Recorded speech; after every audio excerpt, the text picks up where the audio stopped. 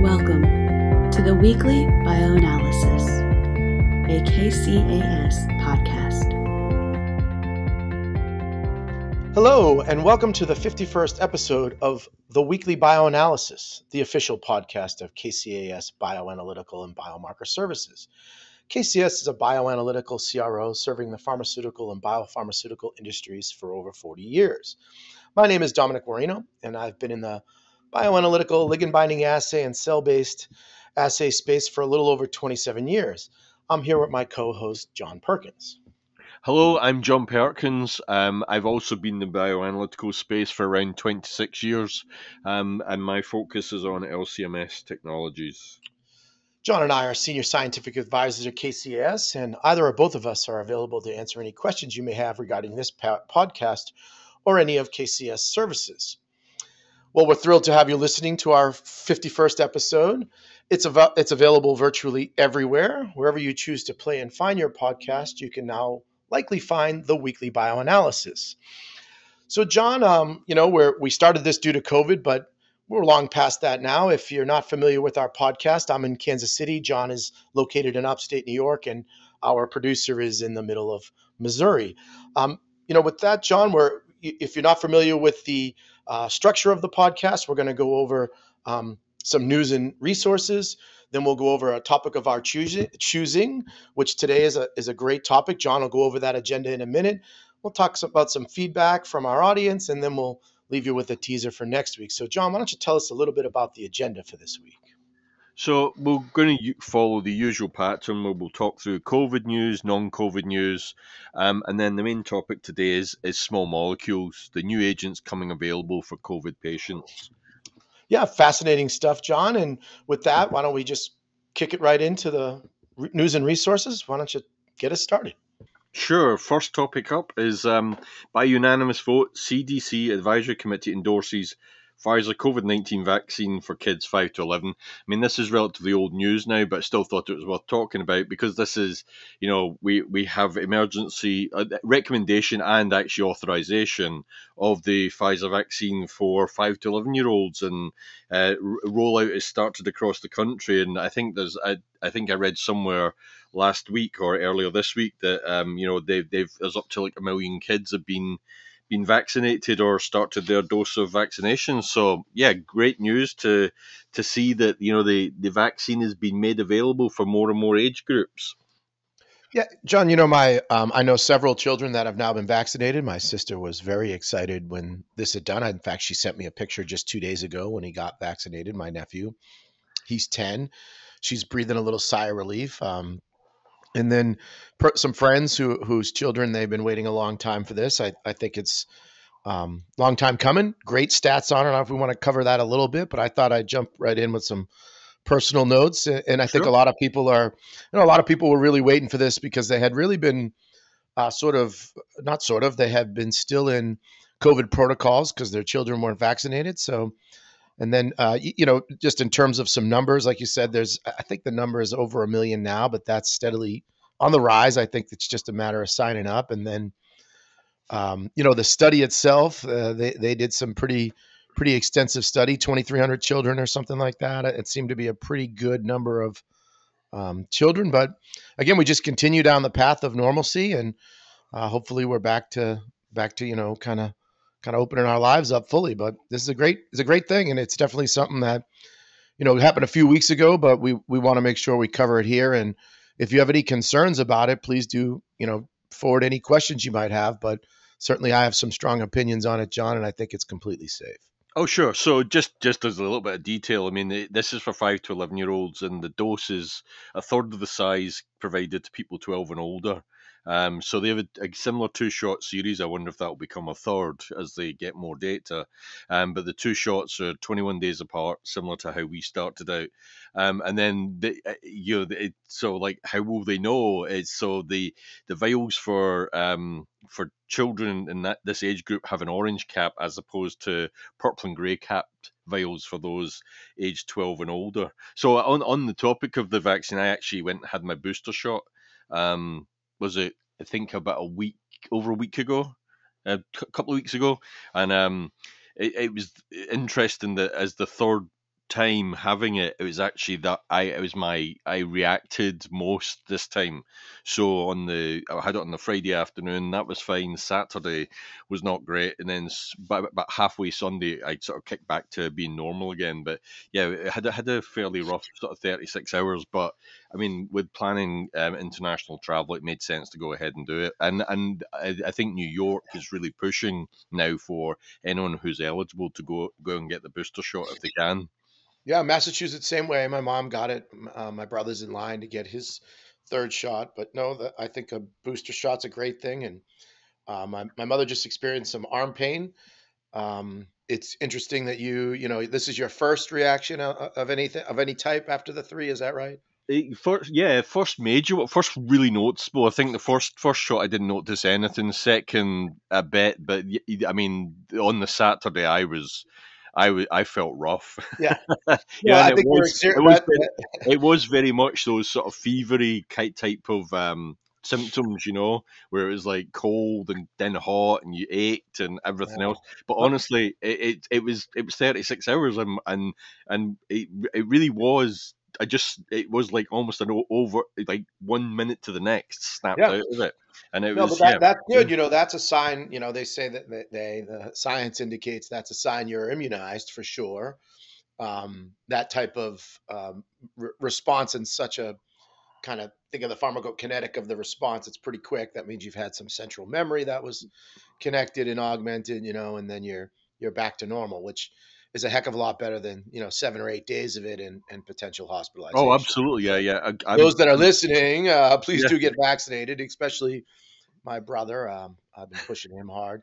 He's he's finally eligible again due to some health issues, but he's yeah. still on the fence. But no, me, I am not I'm not complaining about the fact I felt no for a day. No, that, and, and, you know, maybe we can touch on it now. There's been some controversy around myocarditis and all these sorts of things. But I, I mean, I think I think there's really no evidence that getting a vaccine is is bad for you. I think a lot of this we forget that these things happened uh, to athletes, particularly. That's what I read about um, at, at, a fairly high rate to begin with. So it's not unusual, and they they're trying to say it's vaccine related. But John, from what I can tell, I haven't seen anything Uh, yeah, I, I, think I think the fact that the number of cases have remained really small, that it, it really is a, a very minor minor thing to to to be concerned well, about. I mean, we I mean, talked about this. Talk to your physician, and hopefully your physician wants you to get the vaccine. There's still some out there that are anti-vax almost, but you know, if you do have if you have a pre-existing myocard, myocarditis or something, then yeah, you, you really should be careful. Sure. That that's any vaccine. Forget COVID or anything else, but you know, it's just it's so strange that the numbers are still, you know, we going back to our 50th podcast, the numbers are stagnant, John, and it's just mind blowing. It's it's somewhat uh, well, anyhow, maybe we'll move yeah, on to this topic, I guess, but I still don't understand it. I just don't it, get it. it. It was interesting, and yeah, I do want to just quickly close out this um, this uh, this one news item. Just so we are talking about Pfizer, but actually Moderna have also been running um, trial testing for kids between six and eleven, and they they have data that they're happy with, and they're they'll be submitting that to the regulator soon. So if if you know you've gone with Moderna rather than Pfizer, there is you know information coming that says you know also you know that this is going to be available for kids as well. So it means there will be more resources. But to go back to what I was saying, it was really interesting. I actually had my third shot exactly the same site as I had it um, you know, six months ago. And you know, where where I went when I went in March, it was like this really slick operation. It was a huge hall. There was like constant flow of people. Um, now it's a tiny hall on a different part of the state fairground in Syracuse, and it was it was much more low key. Um, but I mean, it, it, was busy while I was there, but you, obviously it, there just isn't that same demand. And I like like you, I would definitely encourage people that if they haven't had shots to get them, if they've had two shots, I'd encourage them to get the the booster if they're eligible, and um, you know, obviously do whatever we can to protect ourselves, families, and friends, and and and you know, yeah. let's put this put this thing beside behind us because I mean, there are there are other there are other um, you know eh, other things coming that will help address COVID, and that really is our main topic. But you know, I still vaccine is the best way a, it's the best way to prevent yourself getting really sick. Yeah, um, I mean, yeah, don't rely. You're right, John. We're going to talk about that, but there are plenty of, you know, let's call them drugs or agents that are available to treat COVID patients, and they're going to continue to get better. But the key is vaccination and right, absolutely immunity, yep. and yep. and I'm still not eligible. I, I haven't. It hasn't been six months, so that's why I haven't gotten mine. I think I got mine. It's coming up, maybe. Yeah, sure. Maybe another five. I, I think I got my second shot in May or something, so I'm getting close.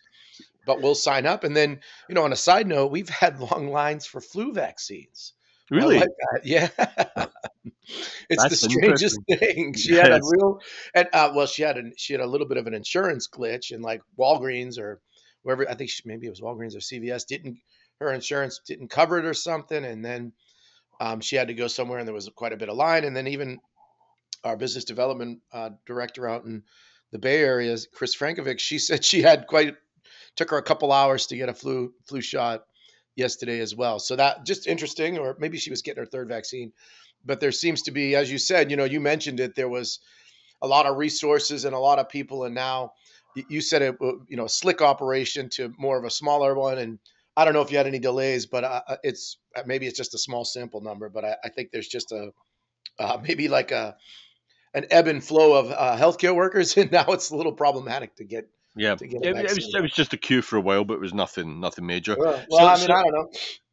Yeah, we can move on. So let's move on to the next item, and and you know we talked about um, obviously we talked about the, the, the global inequities in terms of vaccine distribution, and and Pfizer is has become increasingly the high profile um, vaccine just because it is getting through to authorization and approval quicker than the other vaccines are out there. But these are a couple of items about Moderna and what their their plan is for the long term.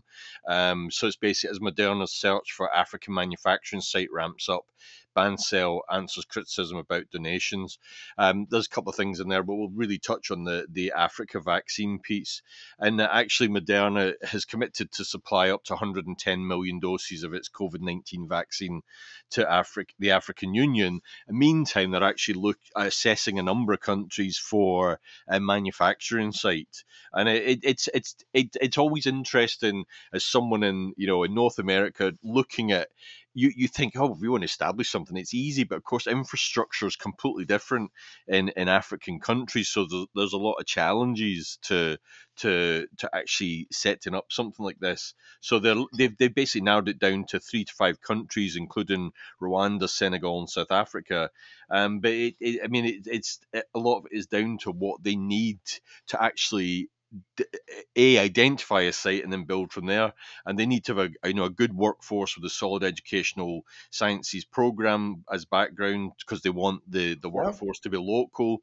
The longevity of the site, the company wants to have location for the next thirty to fifty years, and then it's things like quality of utilities, which again this is what we take for granted. But you know uh, with, with Africa with the, having much less resources, that that's a consideration to think about, yep. as well as easy access to transportation and and you know yeah. having experienced you know roads in like I'll say Madagascar again, but the roads there were were I mean in some places were fantastic, but other places it really was.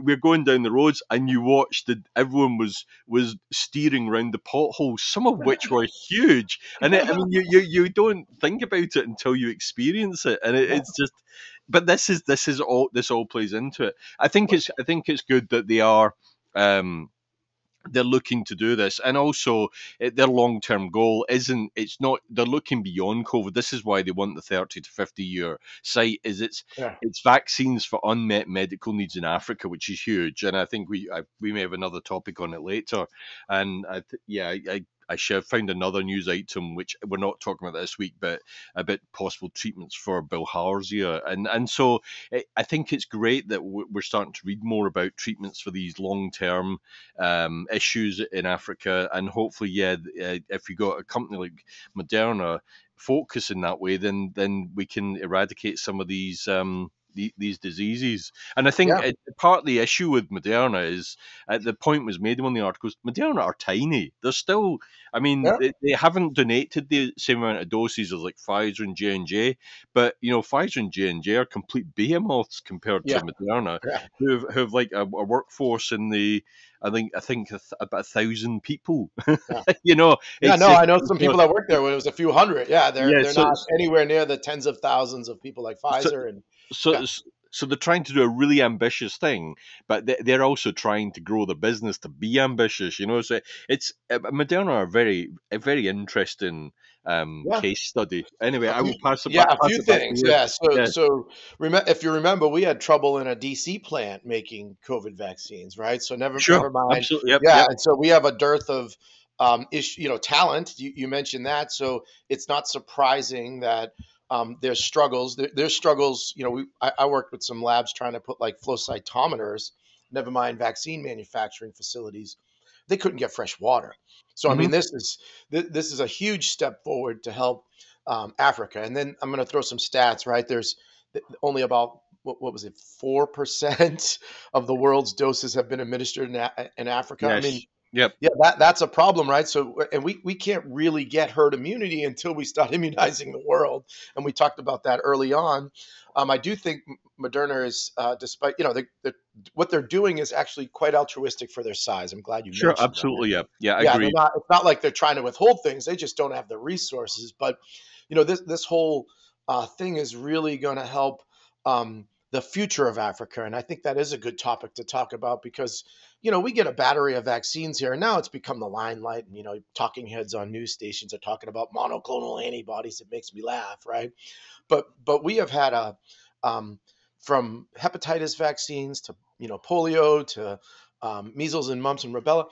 Those nations don't get those things, John. So Sure, this this um, vision that this Bancel, right? That's that's the company in Africa. Uh, What no great Ban- Bancel's the president of moderna Oh, i think he's sorry. the ceo Got- he's the ceo of moderna So yeah. it's all Moderna making. The, they're going to build a plant there. Is that right? yeah yeah absolutely yep yep yep So that that becomes a huge like, you know, what what a great thing for Moderna to be, um, you know, planting themselves there and hopefully helping for decades to come. Right. That that's what this is about. I- think just it, it, it, just just to touch touch on Stéphane Bancel, basically his vision for Moderna's African plant pl- plant stems from the company's ten year plan. It didn't seem to didn't seem feasible, he said, to grow at the level it would like to without having a presence on the continent. And that inspiration came during the time he lived in Asia as CEO of another company called BioMérieux. So, I mean, he's he's ob- he's obviously thinking about this, and and like I say, that there's that long term long term th- thought of what they're going to do. They they they were they obviously um, they had the technology to to really help address COVID, but they're I mean they have they- they're another of their cut their candidates is looking for um, looking at producing a vaccine to treat the Zika virus.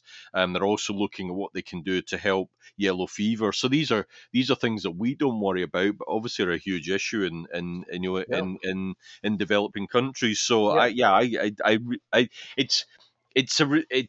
I, it's it's a very interesting topic and it's one I will you know I will Yeah, keep one- revisiting because one it, last thing about sorry, one last thing about Moderna. They they're treating. You know, a lot of these mRNAs are going after cardiac disorders. I don't know if you saw that. That came out this week. So they're using, you know, mRNA technologies to treat heart disease. Sure. That's how powerful these things are, which is fantastic. I, um, it- it's an incredible, um, not, you know, uh, in addition. So not only are they having initiatives to build manufacturing sites in um, Africa, they're working on other vaccine, other um, infectious agents for vaccines, and then they're tackling, you know, cardiac, and they have plans for immuno-oncology. So, you know, let's let, let, let's root let's root for Moderna and all these things. Yeah, right? sure. Like, Yeah. So, so, so one last footnote to this. Uh, this is actually a, a different article, but I plucked this little piece. Um, but another another factor for Africa in terms of um, you know vaccination, it's it's also down to the supply chain, and we're we're increasingly seeing difficulty getting our hands on the supplies that we want in terms of you know tubes and columns and you know just just matrix that we deal with but actually um, in Africa there's a shortage of syringes. Um, so the Gates Foundation is donating money to help uh, a Kenyan manufacturer scale up. So it can produce more syringes. And part also part of the issue is that these va- vaccines, like the the Pfizer BioNTech, um, actually requires a specialized syringe. So it isn't just pick a syringe off the shelf and use it. You know, there's there's Yep. other factors come into play Yep. here. No, So nothing- it- I yeah, mean- good point. Yeah. it's, it's, it's there's lots of things at play here that to, to really that, that that we have to address and and obviously there's a lot of other minds are, are focused on this because there's obviously a recognition that the, the, the this this pandemic is a worldwide problem and we're all really in it together even though some of us are in a more ad- advantageous position than others but Yeah. really we have to help those who are are, are, are less well off because our, our, our global health depends on helping the Yeah. less well off. So anyway, Yeah, John, that- John, it's be, the you know just as another side note here, this the supply chains become such a major issue in our field that at the National Biotech Conference for AAPS, it's a it's a um, a, a discussion, and I'm on this panel with a lot of other industry leaders to discuss ways we're trying to adapt, and most notable is you know using surrogate matrix for PK Sure. analysis Yep, because we can't get it. So that's you know that that that that's maybe its own topic, but I wanted to give myself a shameless plug. I believe that's uh, coming up in March or April, so stay tuned. Right. feel feel free, Doctor Ego. All right, John. This is one last note on COVID. This has been a lot of fun talking about COVID. It's been a while, and there's a lot that's happening. And uh, th- but this last one's a great. It's really cool. Tell us a little bit about some Chilean trees. so yeah, again, it's it, it's once you dig into this, it's amazing all the different things that play into into treat uh, working against the pandemic. And this is a Chilean tree holds hope for new vaccines if supplies last. And uh, as it turns as it turns out, there's a Quillay trees, technically known as Quillaja saponaria, are rare evergreens native to Chile that have long been used by the indigenous Mapuche people to make soap and medicine. In recent years, they have also been used to make a highly successful vaccine against shingles and the world's first malaria vaccine, as well as foaming agents for products in the food, beverage, and mining industries. And the COVID link is actually it's it, it's been used for two molecules which are made from the bark of branches pruned from older trees in Chile's forest are being used in Novavax's COVID 19 vaccine. Now, co- the, Novavax hasn't been authorized or approved, but it is still slowly inching through the, you know, obviously the development process, and and they they pushed back their deadline a couple of times, but it's still moving forward. But um, the big concern here is because these Quillay trees that have you know molecules that are incredibly useful for obviously vaccines and other things, they don't know how many trees there are, and and they've been relying on wild populations of the trees to date.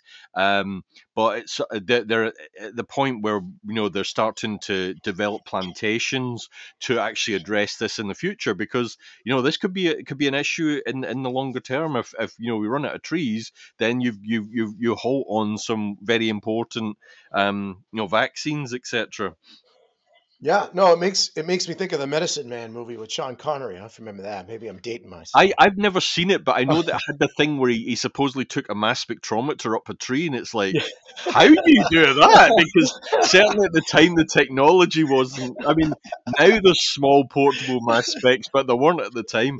I, John, I- it's I- like watching CSI. Don't don't pay too much attention to what they're doing. You know, oh, we're gonna get a fingerprint stat, right? No, but I got you. no, but it, yes, it- we're, you know, we're going to solve this mystery by looking down a microscope that's going to tell us everything. Uh, but oh, look at this PCR sequence. I've solved it all. It's like, yeah, it's just a gel. I got news for you. It's just an acrylamide with some dye, right? But um, so so it, I I laugh, but you know, nature holds the keys to, Sure, to absolutely. And this is just an example of it, and I, it's a fascinating thing. I mean, if you don't, uh, if the part of the reason why medicine is so extraordinary to me to study is you'll never study it all.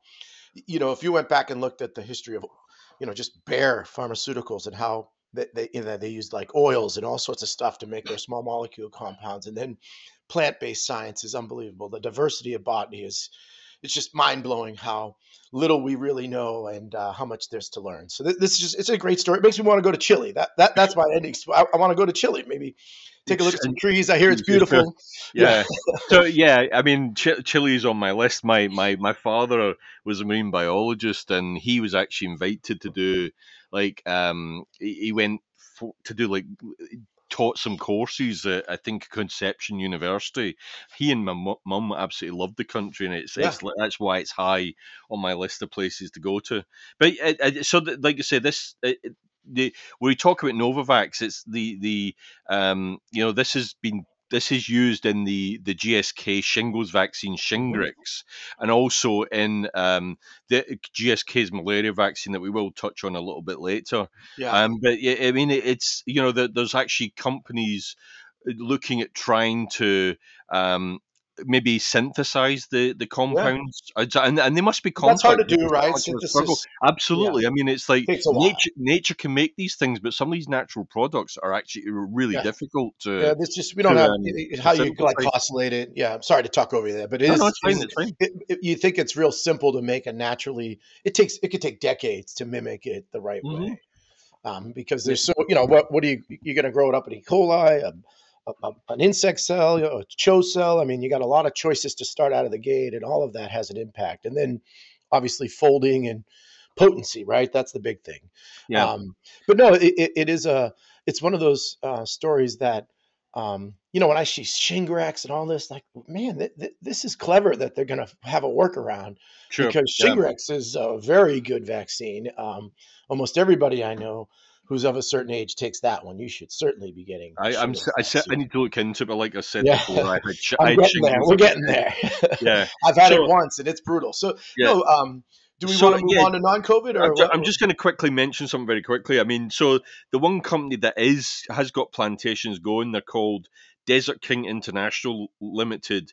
Um, they have a, a, a, plantation in Casablanca, which I'm not sure where that is, um, but they're, they're Novavax's sole supplier of Quili extracts, and uh, so it's obviously in Chile, and it's the largest. They're Chile's largest Quili exporter, and they say they currently they can produce enough extract from older trees to make 4.4 billion vaccine doses in 2022. So this isn't like a it's not a crisis yeah, or anything, but it's just it, it, just it just shows. I mean, it, it, it you're right. It, it, this is an interesting story because it talks about how how we're be, how nature can help us, and um, you know, it's there's, there's a lot of things play into this. It's, yeah, it's, it's whether it's vac, you know whether it's uh, plant uh, extracts for making vaccines or chips in our vehicles. There's just all sorts of things that we need to proactively start thinking about in terms of resources and supply chains. And sure, absolutely, it's, yeah. it's yeah. fantastic. I, I, I'm these types of stories, John, are you kind of put me in a good mood. I was in kind of a rotten mood for Thursday morning, but uh, no, it's it's been really cool to think about. And then I had I was in Chile for a little while. You know, I was visualizing. Yeah, yeah, absolutely. Yeah, yes, um, yes. I'm, yeah, I'm kind of envious. You're going to one of my favorite, but we'll talk about that in a minute. Yeah, let's, so let's move on to some non-COVID stuff. Let's move on to non-COVID, and um, I don't. Th- this is I think this is probably more what you you probably know more yeah. about this than I do. Wow. Um, this is a so, story, yeah. Yeah, it's it is it's the state. I I thought this was worth including just because it talks about it provides the background to where a lot of the where some of the information comes from that has really helped medicine develop. And it's this is estate of Henrietta Lacks sues Thermo Fisher over the improper sale of her immortal her mortal cells. Um, and basically, I, do, do, you know do you know the Henrietta Lacks story? Shall I pass sure. No, you can tell you you can tell it. I, I, I mean, I worked on HeLa cells as part of my doctorate, so maybe I owe her something. But you know, you you can you can go ahead and I don't know the whole story. I, I haven't seen the biography, but I know the cell line very well. I got my yes. doctorate on cervical cancer. So Hen- Henrietta Lacks, this is back in the um, 51. Yeah, back, yeah, yeah, so before yeah. her death in 1951, um, her tissue was biopsied by cell biologist George Gey while she was under anaesthesia and undergoing treatment for cervical cancer at Johns Hopkins in 1951. After discovering that her cells could be repeatedly reproduced and survive longer than others he'd examined, Gey began sharing the immortal cells with other scientists and, and even harvested more from her body after death later that year. Um, all this done without her family's knowledge or consent. And so the, the, the importance of, of Henrietta Lacks cells is this cell line was used to validate the first polio vaccine. It was used to help develop the papillo, papillomavirus vaccines. Um, her cells have been used in tens of thousands of studies spanning cancer, AIDS, in vitro fertilization, radiation, and more. And were also key to the creation of gene mapping techniques that led to the Human Genome Project. So so uh, Henrietta Lacks' name is obviously going to be immortalized because she has done, unbeknownst to her, she's done a massive amount in terms of in helping ensure the health of millions of people.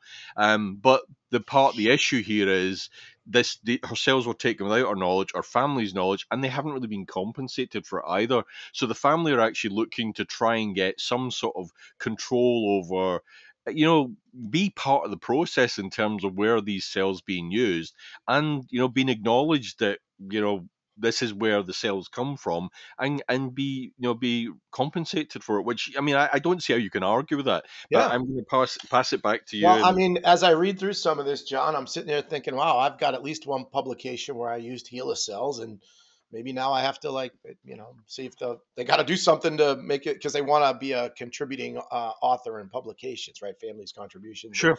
Yeah. You know, it's I'm a little torn by something like this, John, because I don't I don't know the whole story. I, am sure back in 1951.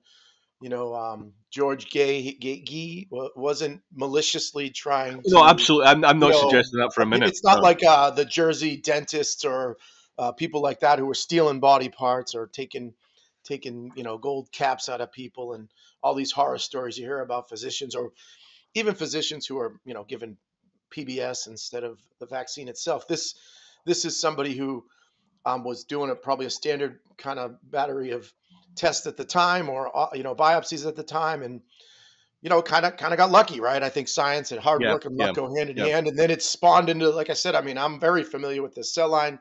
You wouldn't have the Gardasil vaccines. It seems like you wouldn't have the polio vaccine, or when I say wouldn't have, it might have taken longer. It's hard yes, to determine, right? Exactly. But like this, this accelerated the process because it was such a great model.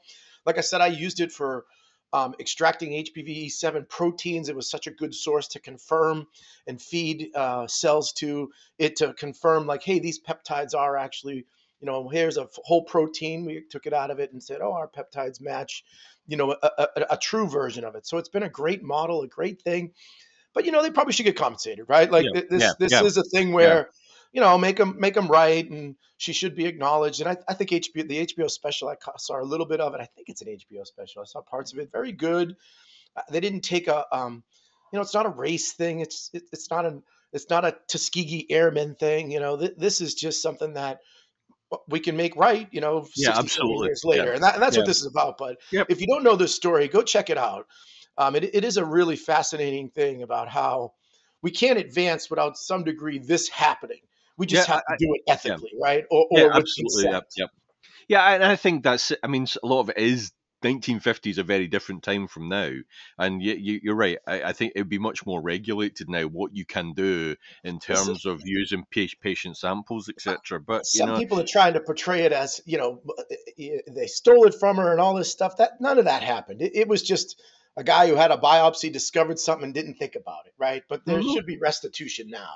Yeah, I, uh, I, I agree. I'm, I'm, yeah, absolutely. I mean, I'm, I think the family should should benefit from from yeah. you know what their ancestor provided because, like say, the the the world has benefited from it. So yeah. why, it's a great, not? it's a, another good story and another like if you're have any interest in in sort of the history of science and stuff. I sure. mean, yeah, it, it HeLa cell lines and our uh, friend Henrietta Lacks is a name that will go down as almost like Louis Pasteur to some degree, right? Like sure, that, absolutely, yeah.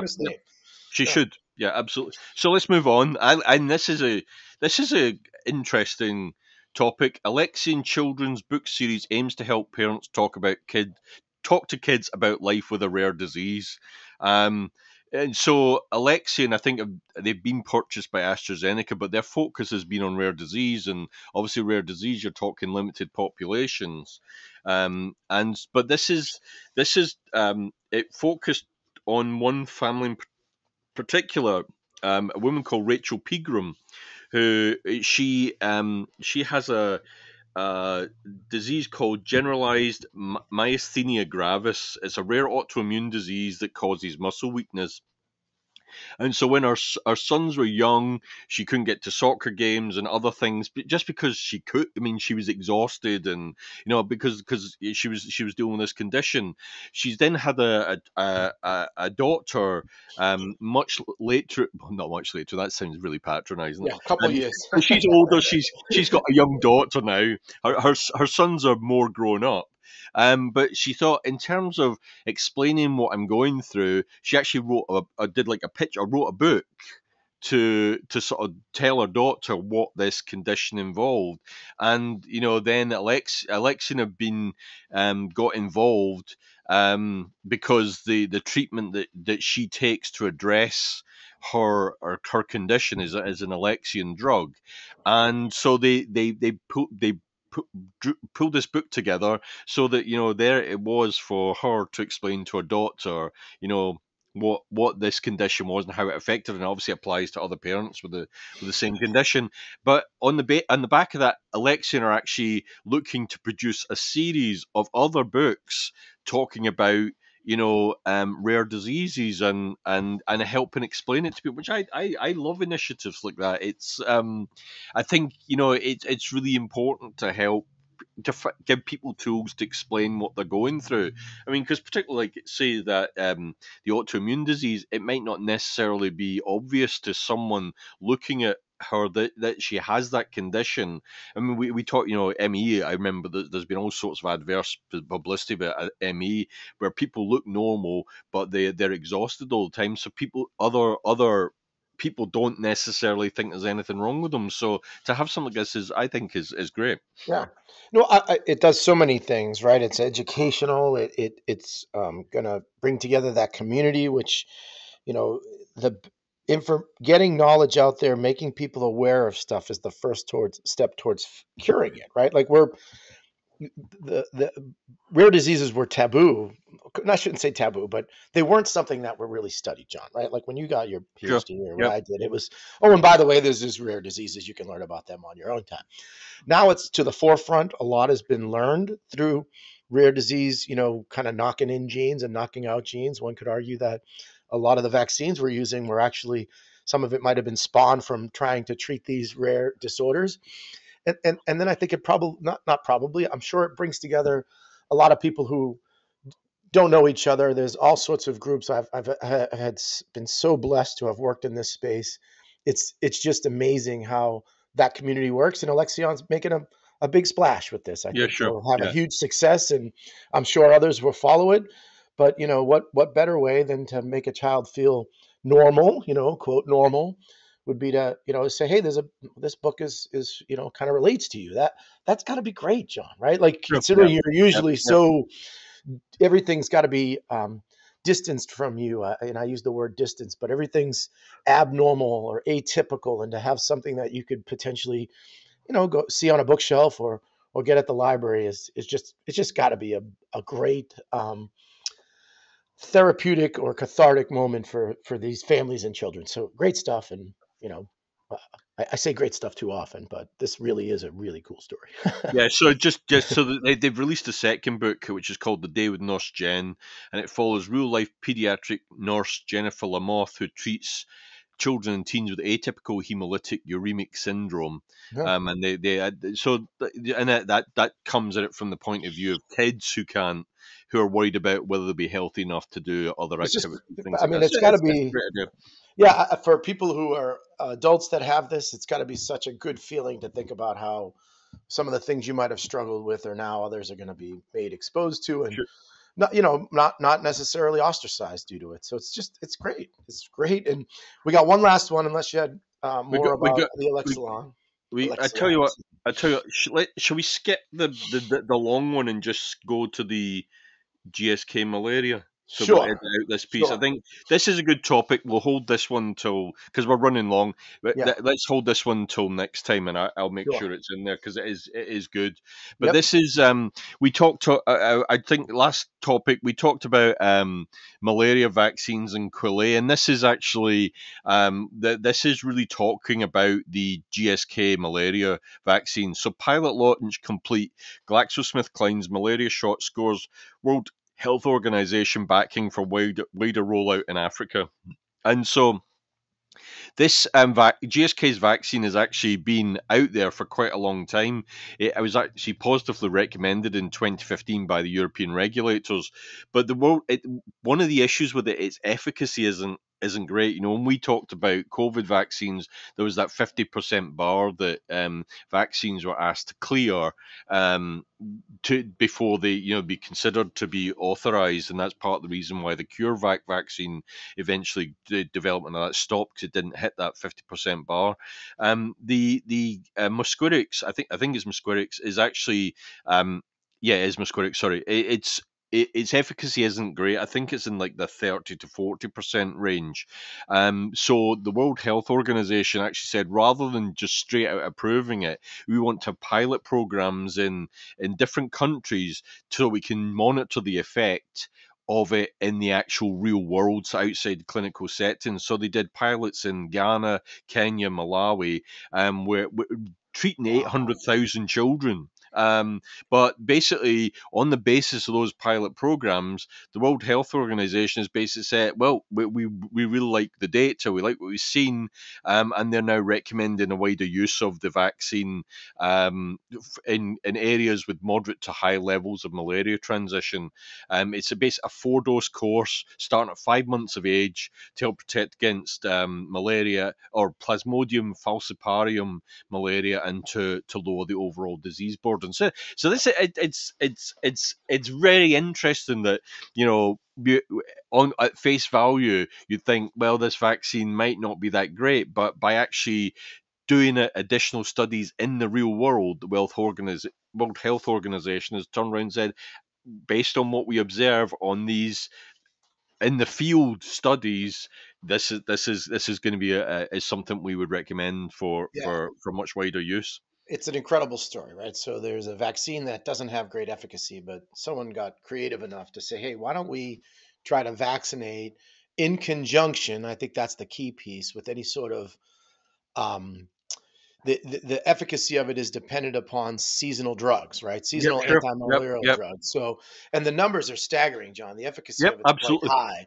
Um, I, don't, I, don't, I didn't know if you mentioned the seventy percent. That that's no, no I, I, didn't. So yeah, and then I'll, I'll, just say the name of it, Mosquirix, is um, very clever, right? Because I don't know how much everybody knows about malaria, but it it, it does take a, a mosquito. To, you know, it it egresses within the mosquito, then the mosquito bites you, and that's how you get infected. So it's mm-hmm. I don't know. That was another clever name, and just the whole design of this, you know, on the surface, John. This I'm shocked this got approved, right, to to move mm-hmm. forward. But in part, it's I think it might have to do with the cost a little bit, right? So tell you know, I don't want to steal your thunder here, but this is a fantastic, um, creative way to to help the the campaign against malaria. And and and yeah, and in terms of the numbers, I think it is worth highlighting that. So researchers report that after three years, combination of vaccine and seasonal anti-malarial drugs lowered the number of clinical episodes of malaria and hospital admissions for malaria and deaths from malaria by about 70% compared with just the drugs alone. So that tells you the difference that the vaccine is making here.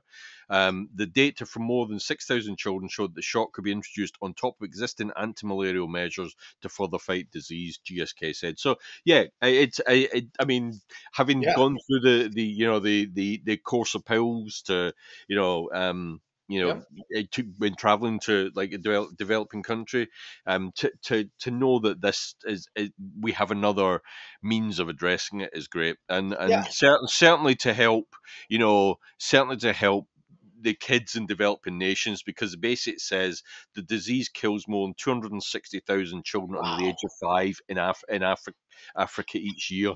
I mean, so if you're saving, you know, a substantial percentage of those, that's that's making a huge but difference. Seventy percent of that would be well into the two hundred thousand range. Yeah, absolutely. That's amazing. Yeah. I mean, that that that's like helping with the population of Africa with this, and and you know the the part that we all need to remember is instead of this being killed and them you know the vaccine itself being you know stopped halted and trying to reinvent it now they can go back and try to refine it, right? Like they're not resting on their laurels. This is like probably um, motivating them to, hey, how can we improve it so that it's 100%, right? So yeah, yeah, that, that's yeah. the piece that's just it's palpable and um, hats off to GSK and let's let's hope we get more meds to the to the uh, resource poor nations of the world or the underdeveloped nations of the world because that ultimately helps you know us in the you know in the in the uh, of I don't know what we're called now. um, first world nations or whatever the current political term is to call the U.S. and Europe and so forth. But we're we're only going to benefit from a healthier world, and that, that's what we really got to think about, right? That that's something that we forget here in the U.S. Yep. So so just just one last thing, looping back to the Quille story of earlier.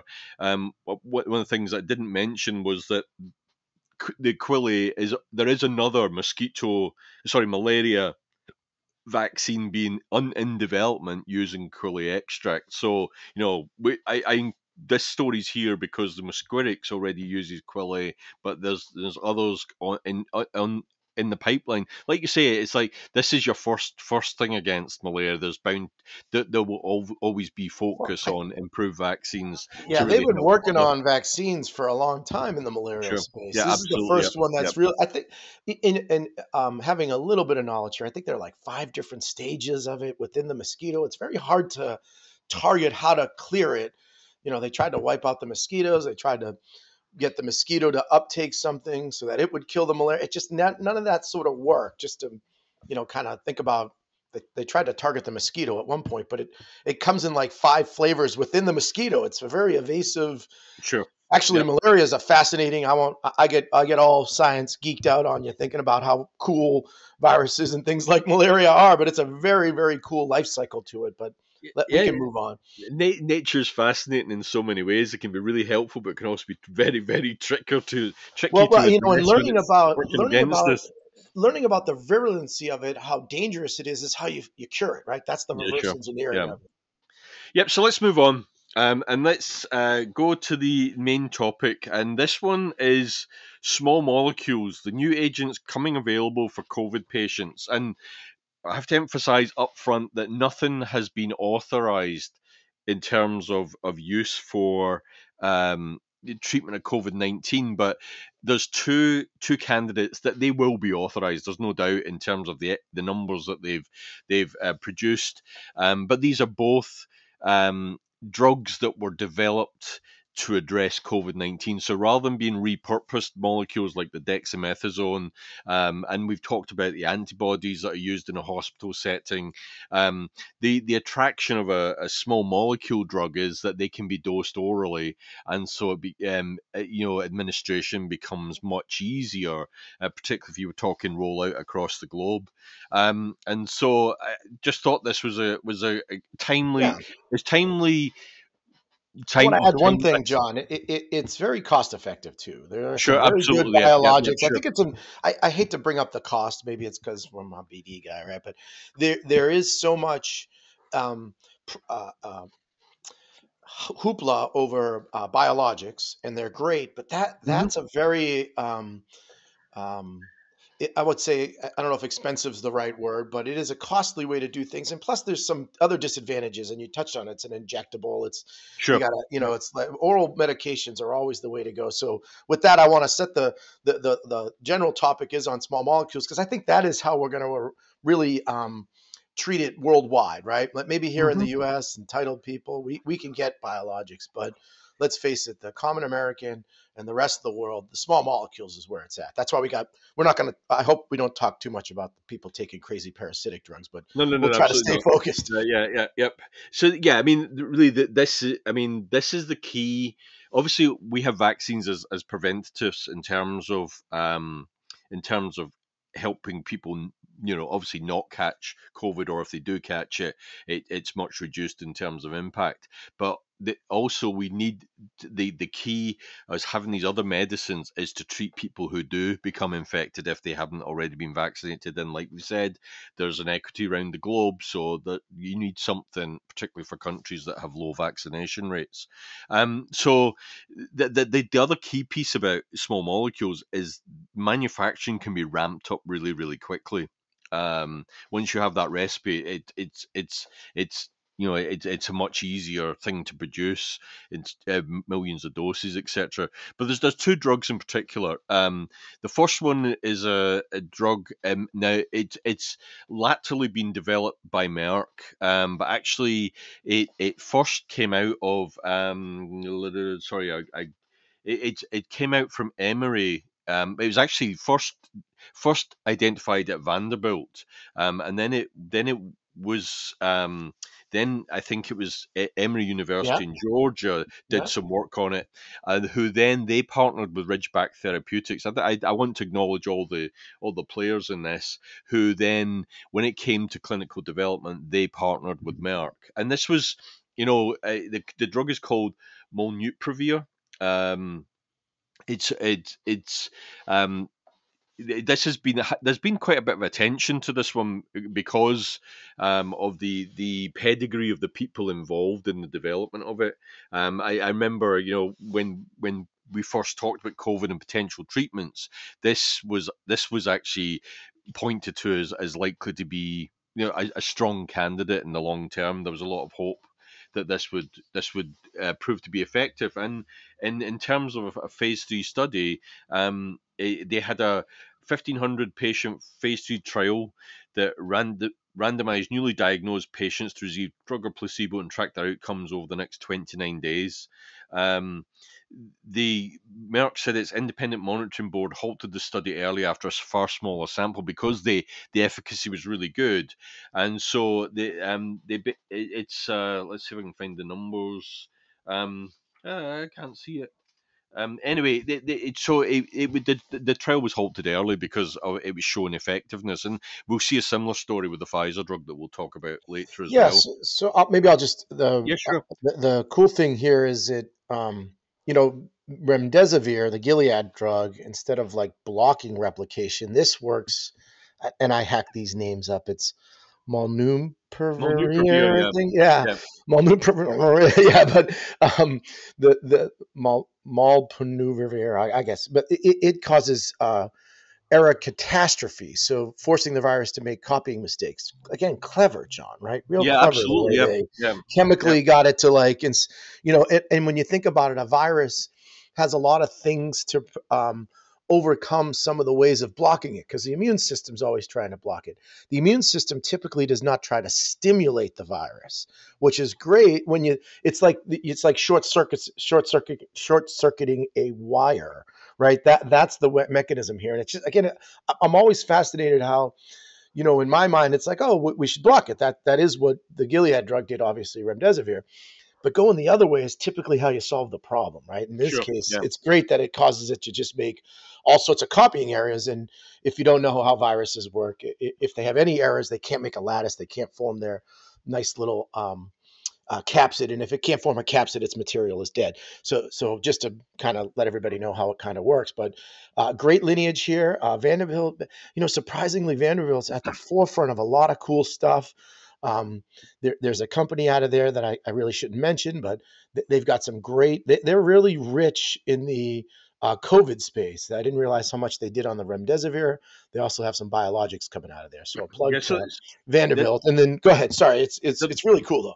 This is really interesting story. It says prior to the pandemic, drug was being developed by non-profit biotech at Emory, which had received a 15 million grant from NIH to test to test it against pandemic flu and equine encephalitis.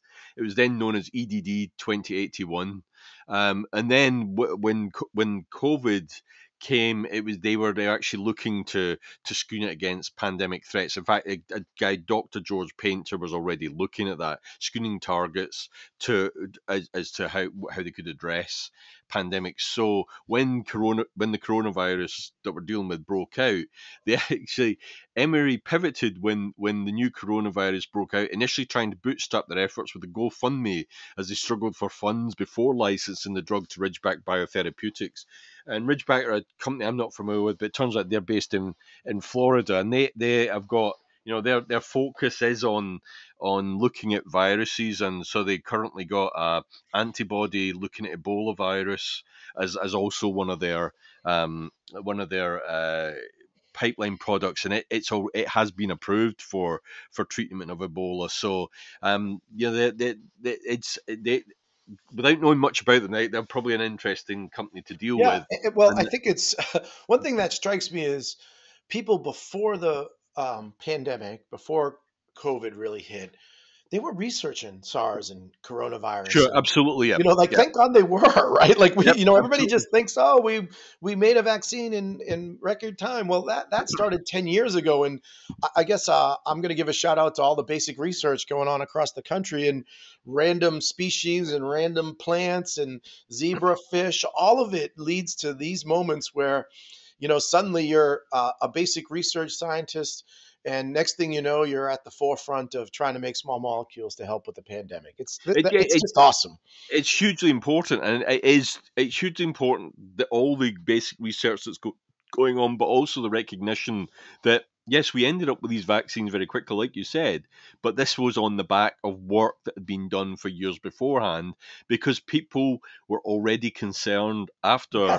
SARS and MERS The of where the one, yeah. where the next coronavirus was going to hit and Yeah. were we going to be prepared for it. So it was you're right. It wasn't just a oh oh my god we've got a pandemic to deal with. Let's make a vaccine. It was we've got a pandemic to deal with, but based on what we've done so far, do we have something that might yeah john I, I, I'm going to be the cynic here and this might not make it to the actual podcast but you wonder if some of this research caused it but that's maybe for another podcast but I, no, definitely think I think definitely you're way out, good you're way out on a limb there, and we should saw that particular limb off.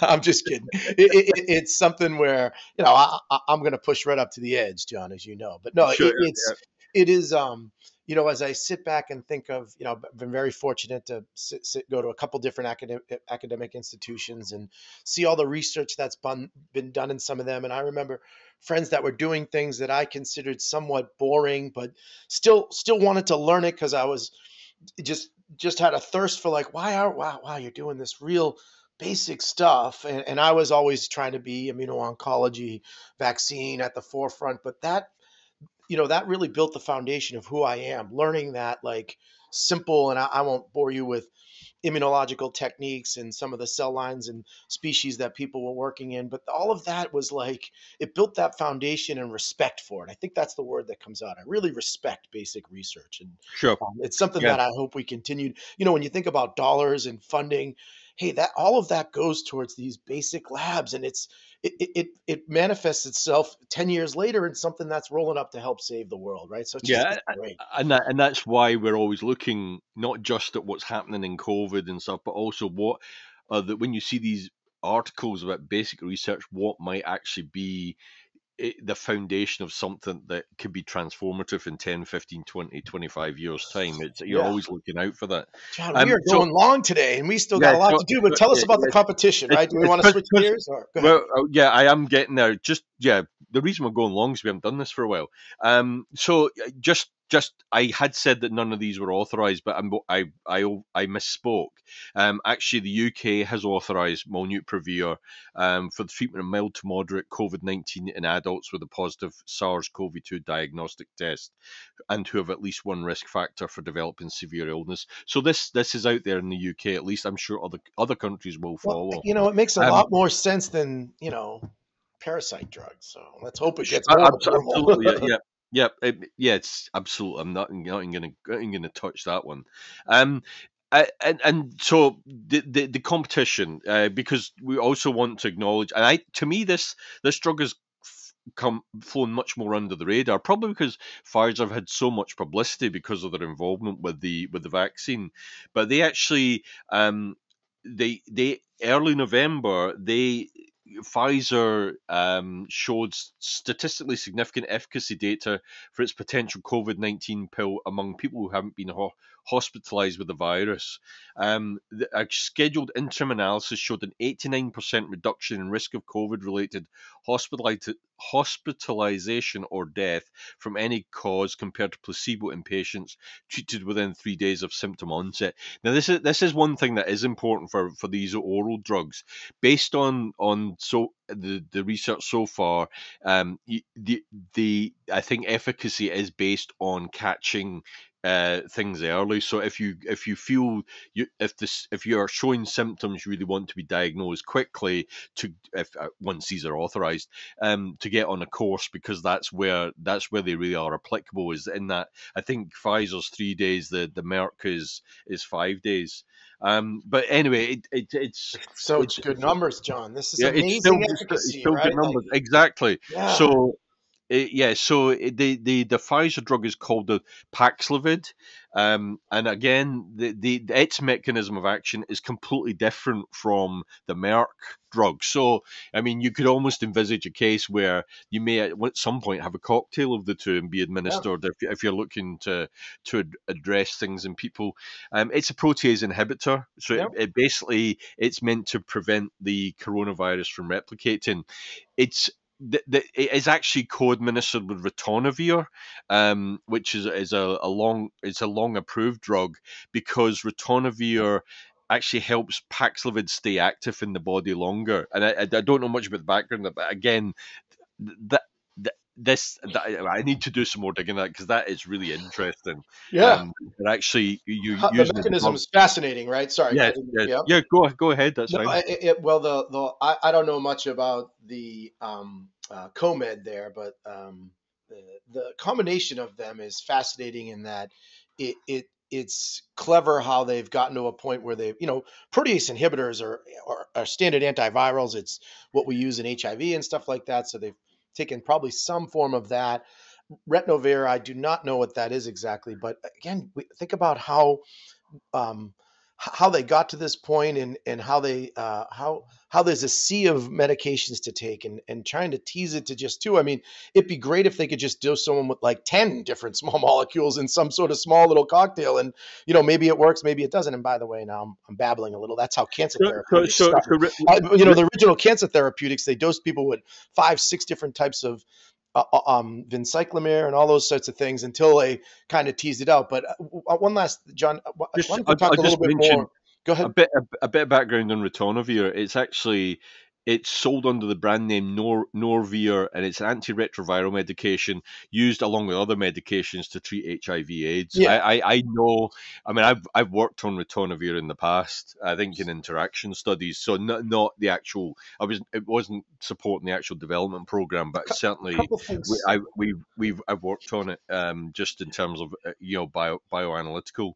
Two um, things I want so- to unpack that you mentioned. One is the efficacy early. And so anybody out there who's just in denial that you're not feeling well, geez, go get looked at, right? Like that's the Yep. first thing. Because the early the, this these medications typically work as you said within a 5-day window. So if you're exhibiting signs, go go to the hospital or go get tested, f- find out. Don't just you know, I hear a lot of people like, "Oh, I think it's just a seasonal flu." You know, John, I took as a side note, I took my first COVID test because um, uh, somebody I know had been COVID positive, and I was on my way to uh, Vegas, and we can talk a little bit about my trip. But I, I it's just because I'm trying to be a good citizen, a good Samaritan, I I went ahead and gave myself a COVID test. I turned out negative, but that those things, if you know, it's just like any sort of cancer or any sort of sickness. The earlier you can detect it, the the better off you're going to be in terms of treatment and, and potential out, uh, uh, subsequent outcome because it upstream early and often gives more pathways to choose from. So I think that's an important part to hammer home. These things are only effective if you catch it. If you're on your deathbed, that's when you got to get to the biologics. Sure, if absolutely. you're like yeah, exhibiting fever and not feeling well, get out there. And if you're really getting to a state where you're positive and your viral load's high, they can pump you full of these things and cure you. So there's my little diatribe, John. Sorry. I, think uh, you know you're absolutely right. Yeah, I, I that was why I mentioned it because I think it is key that if you feel unwell, go to the doctor and get yourself checked out. Don't Yeah, just I mean, think I can go over this. know, You know, John, it- everybody says, "Oh, I don't have time," and this and that. But man, getting sick on COVID, people who are, I know a few people that ended up they've been positive, and then you got to quarantine, and you know your life gets upside down for five, ten days versus just get it. You know, go go often and and don't like hide from it. Is what I'm trying to say. I find myself Sure. sometimes thinking, "Oh, well, maybe I'm not sick," but if I'm feeling sick, John, I'm gonna go get tested. Yep. So I, I mean, not not much more to say on this, other than like um, one thing, like we meant, we touched on the ease of manufacture, etc.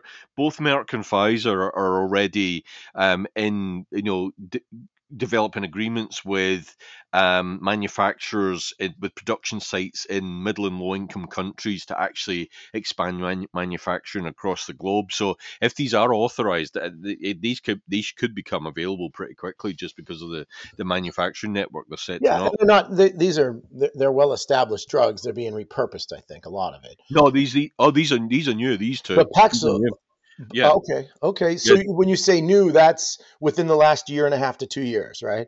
I, I, I mean, the, these are these are drugs that you know they've never been they've okay. never they've been in development. They've never been approved for anything. The only one that's that what I'm sorry. Go ahead. Yeah, the, yeah, only, yeah. The only one that has been approved is ritonavir, but that ritonavir isn't the active agent in the Pfizer drug. It's there to help the oh. the Paxlovid, and that's why I, I, think I'd love to see what the mechanism, what what what it is about the ritonavir that helps that.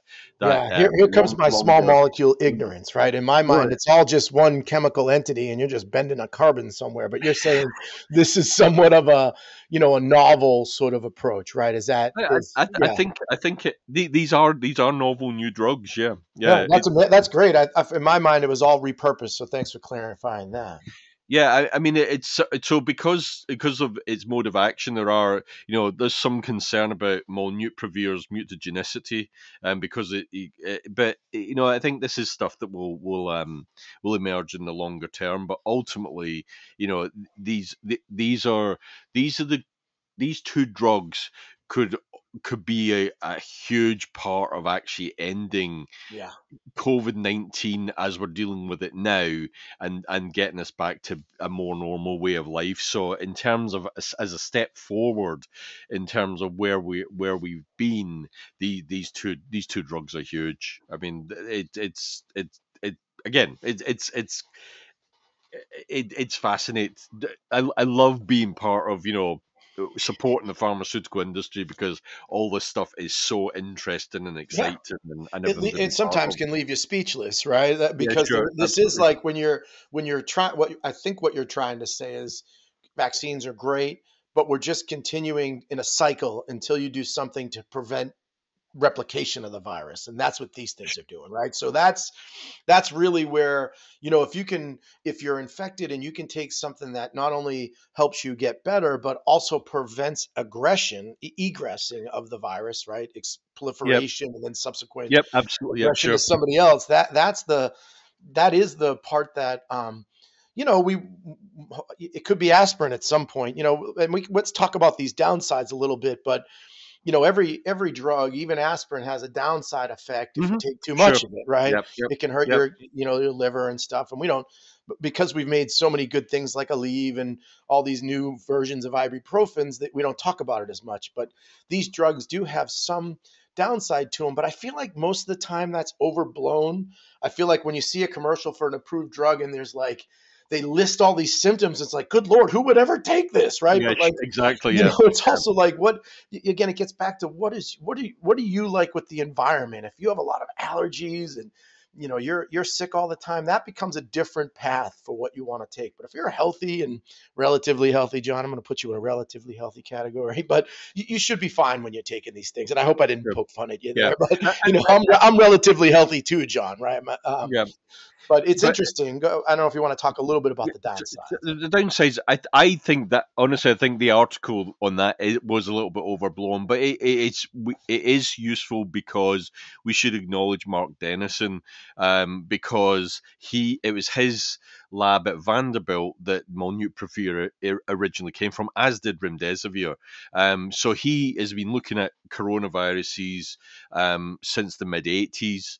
Um, so he's he's been looking at these viruses and, and how to treat them.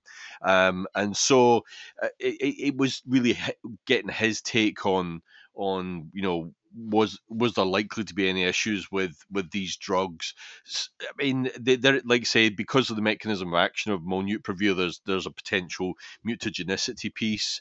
Um, so that that may mean that certain populations don't take it. I mean, he he uh, certainly in the article he's the one that's saying that if because um, Paxlovid and Molnupiravir operate both differently to actually combine the two may be the most powerful combination. Absolutely, that you can treat that, and and and Molnu- Paxlovid does not have any um, because of the way it operates, doesn't have any mutagenicity concerns. I mean, like I say, all drugs have side effects. Um, it's just it's it's. I think it's it's, it's interesting to discuss up front. You know what your concerns might be, but ultimately with drugs like these, the benefits far outweigh any downside to them. Um, so yeah, it, it, I mean. well, well it's line. interesting. Yeah, there's, and you're right. I, I think oftentimes they, you know, when you see things like mutagenicity and it's like you know it's got carcinogens like cigarette smoke it's just it's all got to be taken with a grain of salt. If you if you pump an animal full of enough saline you could give it cancer is the way i kind of think of it. So it just just depends on how they study it certainly but we, we want to know obviously you want to take things that are going to be safe for you although um, you know what's the the alternative is is obviously bad if you pr- progress uh, too far with any sort of um, infectious agent such as coronavirus. What I think is fascinating is I wonder back in 1986 when Mark Denison is studying coronavirus and everybody around him is like, why are you looking at that? You know, HIV is where it's at. And here he is, you know, 30 years later, a hero to some degree, right? He should be applauded for sure. his life yep. uh, dedication to this. And if we hadn't had scientists such as him, we wouldn't be sitting here talking about small molecules that are uh, life saving. So, you know, I, I hope everybody appreciates the, um, the work that goes into some of these things, how basic research laboratories are really supporting our future as we speak right now, and then also um, the, the, the the side effects are such a hot topic, and I, you know, I talk about my brother a little bit, and he's scared of just about everything. He's, but but I, I think I think that's a bad way to to look at it, and and really I, I wouldn't, you know, always talk to your physician, obviously, but the, these things are, are for the most part, they wouldn't be on the market if they were holistically exactly. killing people, yeah. right? Exactly. Um, or, or even really making people sick or causing any sort of, um, you know, cancerous type side effects. That's, those are things that they just, they just don't get this far after um, f- any sort of safety study. So anyhow, that's my, again, little, little bit of flavor for you, John. I don't know where, so yeah, I think, against time here. I think this I think, is I think, fantastic. I think, I think we can wrap up and say well, just I, just to emphasize yeah. both both these drugs aren't authorized yet, but based on the data, obviously they've been submitted to the, the relevant authorities, and I'm sure we'll yeah. we'll we'll see see that come through, and obviously we'll discuss that and when for it, any of you that happens. are out there listening and want therapeutics and they're taking parasitic drugs, please stop. Go find these drugs. They're Paxlovid, right? Uh, Molnupiravir, right? Um, so go go find these drugs and stop taking things that uh, are, you know, really um, have very little chance of being effective, well, even though you might feel better taking it. It's not due to that, I promise. Yeah, they, they, they can't take them yet, but ultimately, it's like if you can get vaccinated, to get vaccinated. If you well, get you sick, so you can't take them yet, but okay, no, you, it, really, it, will happen. I mean, it's yeah. it's it's it's they're authorized in the UK, but they're not here yet. I mean, like I said, are there clinical trials ongoing? I guess I didn't look at that. I think that the, the phase three data were so good that I think the trials were halted early. Okay because okay. the because of the efficacy that they showed. So, See, like my said, mind, knowledge is power, John. If you ask that, your physicians the right questions, usually you can get any yeah, drug you want, yeah, but I suppose yeah. not. That, the, the, these aren't authorized yet, but okay. I, I think based on the data, these will be coming soon. I, I cannot imagine that they, they, they won't be available you know, in, in the not too distant future. Do you want? Um, we do have one last topic uh, on the on our agenda. I don't know if we want to take a second. I, I love the idea of talking about long term as resistance a concern. Do we want to take a minute there?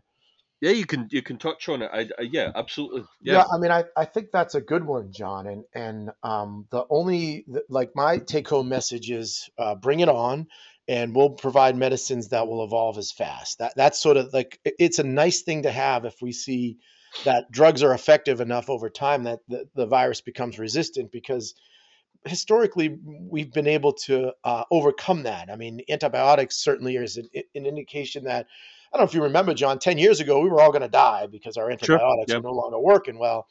You know, people put their hard hat on in basic research and have definitely made advancements to ensure. And, and then we stopped. You know, they started giving it before. They used to just dispense antibiotics. You could come in with a runny nose, here's an antibiotic. They started kind of slowing that down a little bit.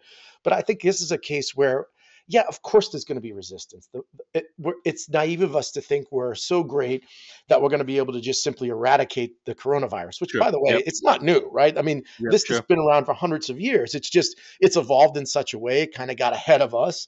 Now we're dealing with it. We'll get ahead of it, and it'll just be a, Yep, sure. it, Yep. it's probably, I- I don't think it's, I feel like the initiative is so strong, it's not going to be like the flu. I do think that in a decade, we may not need a COVID vaccine.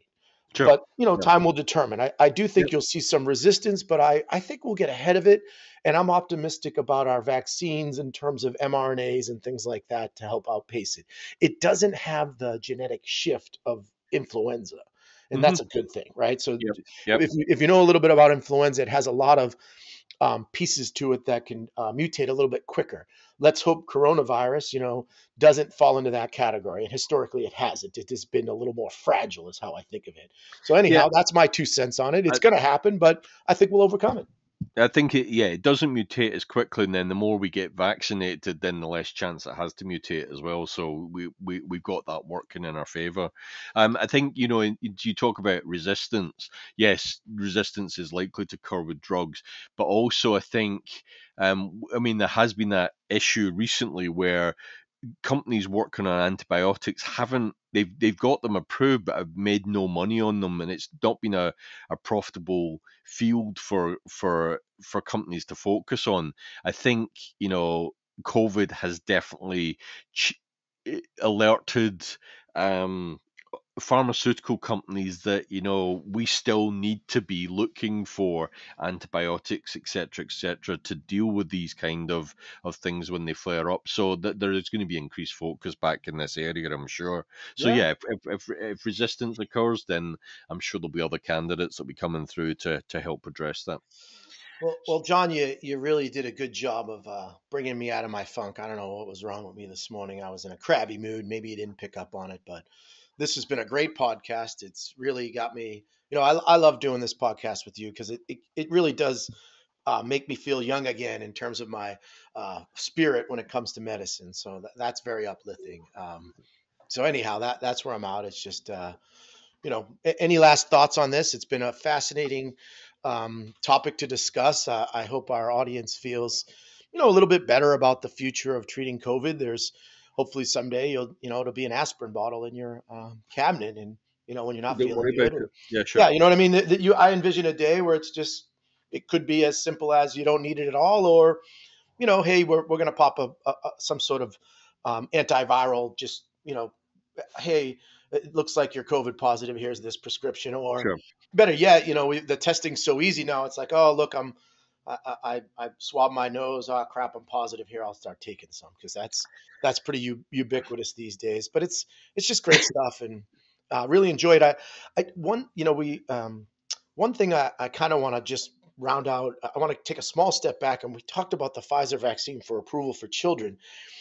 I- I don't know if you saw this story, John, but you talked about the caps, and when you said there's an orange and a green, you know, they still messed that up. Somebody Oh, was injecting the children with the full doses. oh really so- yeah, somebody, and it happened twice in the same hospital. I feel like it was in Florida.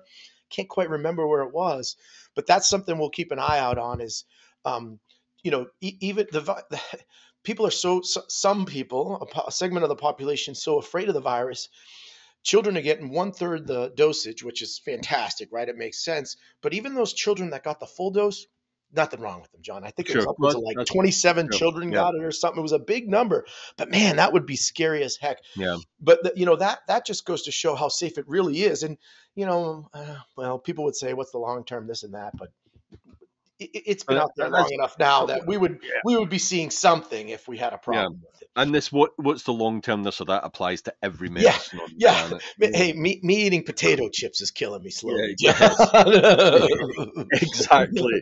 Yes, yes. It's funny you talk about the mix. Well, it's not funny, but the mix up of color caps because that you know that is is the different colored caps is essential to doing bio bioanalysis. You know Yeah. where biomarkers were one colored cap and different anticoagulants of different caps and, and everything else. So yeah, uh, it's um it's Well, it really it- is a it- fundamental to the way we operate. Yeah, it's it's almost like they're you know they wouldn't be suitable to work in our GLP laboratory, right? It does take not- some not- degree of um, you know, smarts, uh, and I'm not talking about book smarts. It's just really you got to stay focused, and that that's Sure, a lot. That's absolutely. a lack of focus by those Yep, yep, individuals, and to have it happen yep. twice is just, you know, maybe it's a a- training issue, but whatnot. But that's to keep an eye on, and just thought I'd bring it up. And with that, maybe we'll move on should to some up. feedback, or yeah, any feedback. Uh, I I have a little feedback, so um, you know, the podcast 50 was quite the hit, uh, John, when we did it,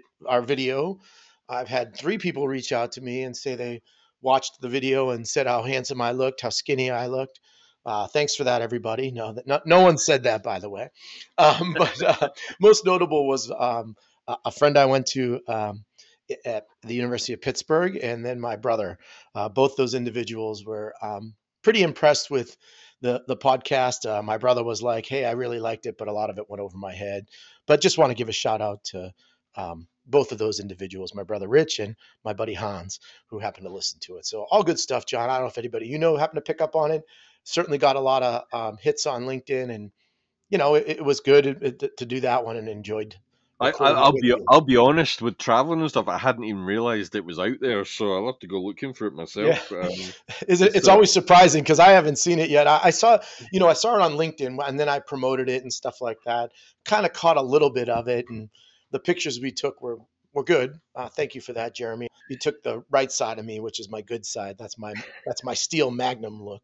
Um, um, but no, John, that that's a little feedback. I don't know if Jeremy had any more, but you know, with that, maybe we'll. I- know we got podcast 52 coming up. We're going to leave that as a teaser in terms of what we're going to talk about, but we welcome anybody to send some topics if you're interested. And then, uh, I don't know, John, I- I'm excited to tell you about Vegas and my weekend and what's go coming up. go go for it. Yeah. Yeah, so you know, I had never been to Las Vegas, John, and we we ended up going from Thursday to Sunday, and we saw three shows. We shopped, we um, you know did some gaming, and happened to win a little bit at the sports book. We had a lot of fun.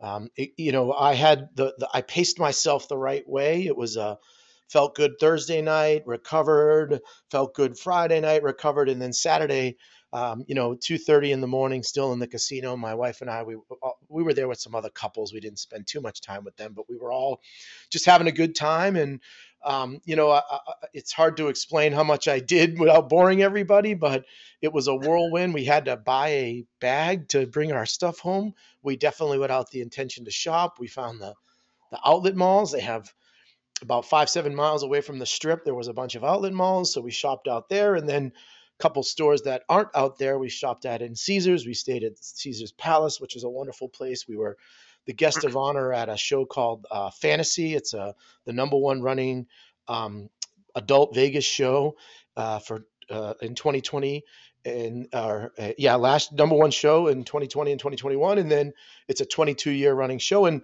our, one of our friend, uh, our colleague Adrian Chicos, she knows the uh, Lenore, who is the head of the show, and so we had a great time. We got honored for, you know, they kind of said happy anniversary to my guests and got to meet him afterwards. So it was a whirlwind, John, and just an incredible time. And you know, now I'm I'm thinking about my 50th and plan on going back to see the Patriots play. Patriots play the uh, Raiders. Ha- haven't had a date yet, but there will be a game, and that'll be my 50th. And you're welcome to come out to Vegas for my 50th, John. But, that, I'll get some dates if you're interested, but I'm inviting Oh, everybody. sure. I- No, no yeah, wife on that one, so we'll see what I'm- happens in I'm Vegas. overdue returning to Vegas. Yes. Yeah, but Uh, for for somebody who had never been, we uh, people who uh, we have a couple, not only Adrian but Chris Coffin and even Ami. They're all entertainers. They've Chris worked in Vegas as a dancer for ten or twelve years, and when I told him what we did in three days, he was like, "Man, you guys are like experts." And we didn't even map it out. We just got there and.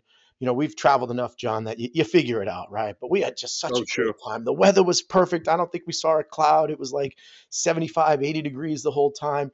The only thing is, um, the Rolling Stones were playing at the football stadium. Sting was playing at our uh, hotel. He had opened up on Saturday, and then uh, there was a Canelo um, Pl- Plant was his last name. A big uh, fight, and so uh, talking to somebody in a shop who was you know working there, they're like, we've been averaging about two million dollars a weekend. They had an eleven million dollar weekend, and basically it was almost back to normal in terms of how Oh, the wow, city yeah. felt because it swells. You know, Sure. twenty thousand people come to see the fight. Tw- you know, twenty thousand to see um, the Rolling Stones. Unfortunately, we had tickets to a comedy club with some of the couples we went to, so I had to go to that. I had to go to that.